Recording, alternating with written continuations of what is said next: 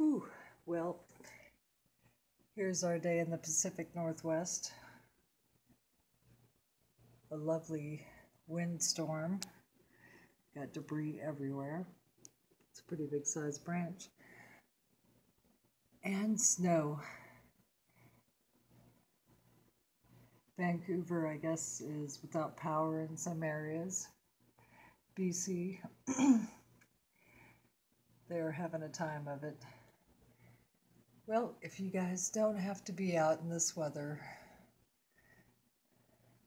I would say give it at least a good hour for the roads to work out the kinks of the snow.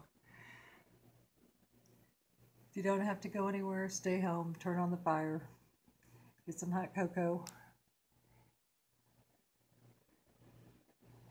and enjoy your day. Okay. I think I'm going to go to the front. Hang on.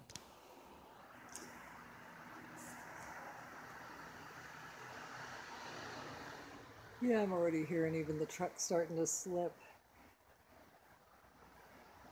When I woke up at 4 this morning, it was at 34.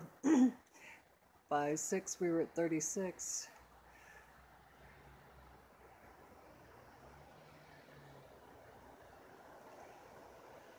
Try to take it off over there in the clearing. Yeah, it's coming down pretty darn good. So, I hope everyone has a wonderful Sunday, and I will talk to you tomorrow. I'm going to go make some cocoa.